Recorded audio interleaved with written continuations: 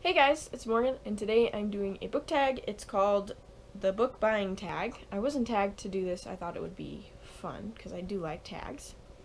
But there are 13 questions, so I'm going to get started. Question one is Where do you buy your books? I buy my books lots of places. Um, I think I buy the majority of my books on Book Outlet, which is online. Sometimes I buy books on Amazon. Um, and then I have a local bookstore. It's really teeny tiny called Bookworks. They sell new books, but it's in Whitefish, which is in, it's like a half an hour drive. So I don't go there very often. Um, and then I actually know a guy who owns a bookstore here. It's a used bookstore, and we're friends. And if I bake him cookies, then he gives me free books. Um, and I also um, will trade in books there. So I buy a lot of books there. So I buy books lots of places. Um, question two is Do you ever pre order books? No, I don't. I've never pre ordered a book in my life. I've never pre ordered anything in my life.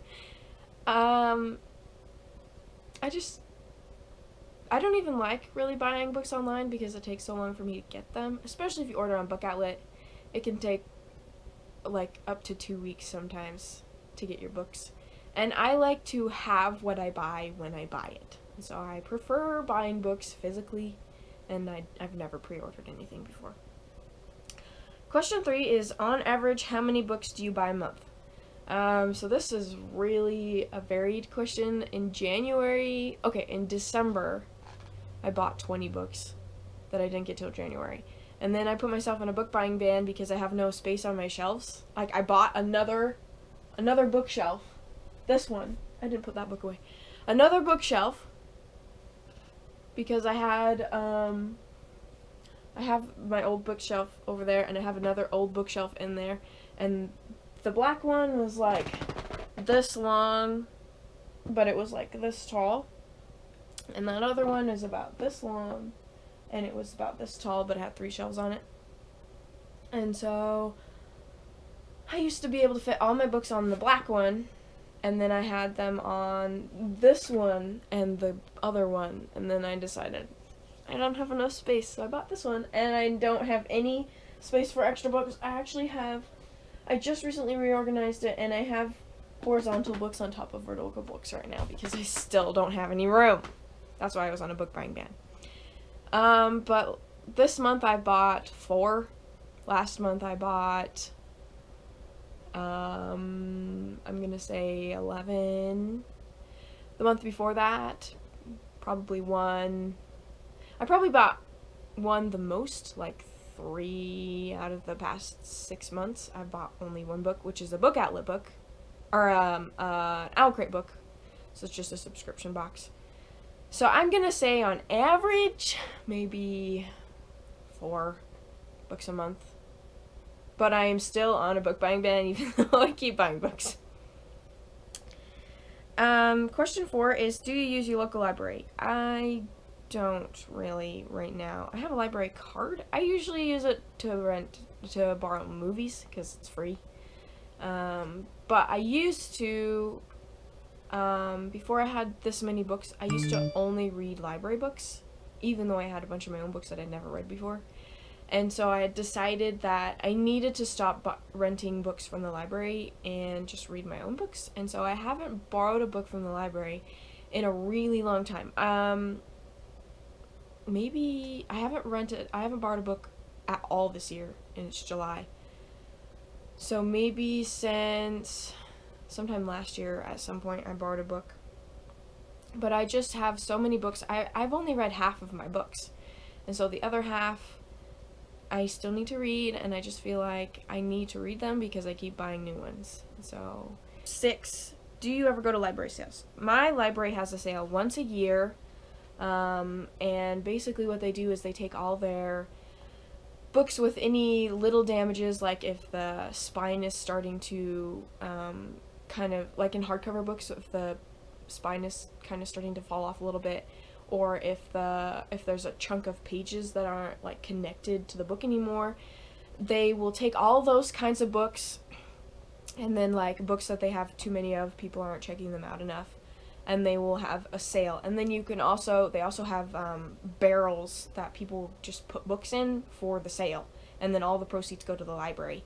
Um, and so they had a huge sale this last year. Um, it was a few months ago. Actually, I think it was last year, like November or October. It was in the fall. So there's probably going to be one another one soon. And I will definitely go because the way they price their books is they have a ruler and every inch is like a dollar or two dollars. So they just stack your books horizontally and measure it. But on the last day, they charged three dollars for a grocery sack. So you could fill a grocery sack with books, shove as many books as you could possibly fit in there, and it's only three dollars. so I went all three days. I got books all three days, and I think I got over 30 books. I got a lot of books at that sale. But I only spent like I think my dad spent like fifteen dollars for my books, some of my books, but I spent like twenty five. So I got like over thirty books for like thirty bucks or forty bucks. So it's a really good deal. But I love, love library sales. okay, question seven: How much do you like charity shops and used bookstores? Well, as I said previously in a question, I know a guy who owns a used bookstore, so I like them a lot. Um, he will accept pretty much any books, whether they're damaged or not, so you kind of have to watch out if you don't want a damaged book, but I get them for like the price of a batch of cookies. So, yeah, and I have a lot of credit there because I donate all my books to him. And I've gotten rid of quite a few books in the past couple of months. Uh, not a lot. I got rid of like 10 this year so far, but my mom got rid of like boxes, like five boxes of books, like big boxes of books last year. And I was the one who took them in. So I still have some credit for that because, yeah, that was a lot of books. Question 8. Do you keep your read and TBR books on the same shelf? Yes. I before I had to organize like this, I had all of my books that I'd read on the shelf and all the books I hadn't on the shelf. But I just decided to change it up and I mixed them all together so that all the books in like the same series or by the same author could be together because they weren't like that and it kind of bothered me. So, yes, they are all mixed together. But I know what books I've read and what books I haven't. So, yeah. Question 9. Do you plan to read all the books you own? Um I'm gonna say no. I'm talking about a few specific books. I have the first two Divergent books up here. I don't know if I will ever read them, but I have them. Um, I think I got them at the library book sale. Um, and then there's also there's also another something somewhere. Um, I can't remember where they are. But The Fault in Our Stars is somewhere. And um, Beautiful Creatures is somewhere, which were given to me by my aunt because she wasn't ever going to read them.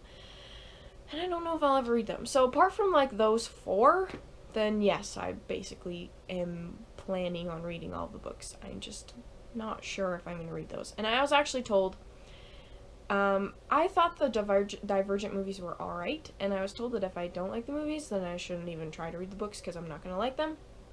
So that definitely is probably an indicator that I should just get rid of them because I don't really. I'm going to read them less now than I did before. so, yeah.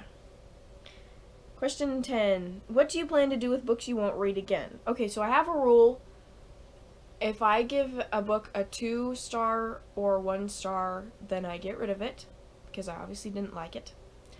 And if I do read it and I do like it, but I'm never gonna read it again, um, like I read this book called The Secret School, and I gave it I think three stars or four stars. I thought it was a cute book. It kind of reminded me of Little House on the Prairie, but I'm never gonna read it again.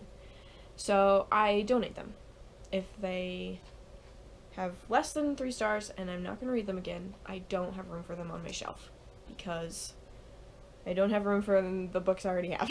so if I can get rid of some books and I'm not going to be sad about it, then bye bye! Question 11. Do you ever donate books? Yes, I donate books all the time when I don't want to read them again or if I give them two or one stars. or if I never will read them. Um, question 12. Have you ever been in a book buying ban? Yes, I'm currently on one and I'm doing kind of a poor job. I just bought four books this week. Three three books.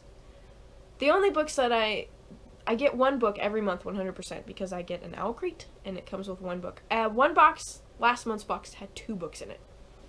But that's not my fault. and so other than that, I'm not supposed to buy books. Um and then 13. Do you feel like you buy too many books? Yes. I do buy too many books because I don't have any room for them. Actually, funny story. I have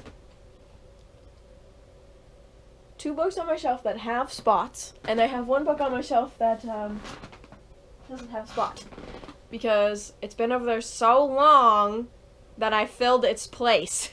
it's been over there since last month. I haven't finished it yet. So, yeah, I have a problem trying to uh, fix it. Anyway, this was fun. I love tags. They're so great. And I'm not going to tag anybody just because I don't know very many book people who have YouTube channels right now, and I haven't been very good at posting videos. And I do apologize for that. I have a really old computer. Okay, it's not really old. It's like three or four years old. And it is updated to Windows 10 and all that stuff. But it's really slow and it's like a starter computer that my parents got me when I was like 16 for my birthday, and it's a 10.1 inch touchscreen Asus, and it has maybe 128 gigs of space on it, which isn't enough for video editing. And so my computer is so full right now that um, it's having a, having a hard time processing. So when I load a video into the editing software that I use, it will corrupt. And so I actually had this problem. I did a bookshelf reorganization video, which is really long. It takes like two hours for me to reorganize my bookshelf. And it's so big that the camera I use divides it into like 17 minute and 42 second clips. I don't know why that exact number. It's just the number it breaks it to. And so then I have like six different sections of this video and I have to edit them one at a time and then I had to load, I think I had eight sections actually. And then I had to load,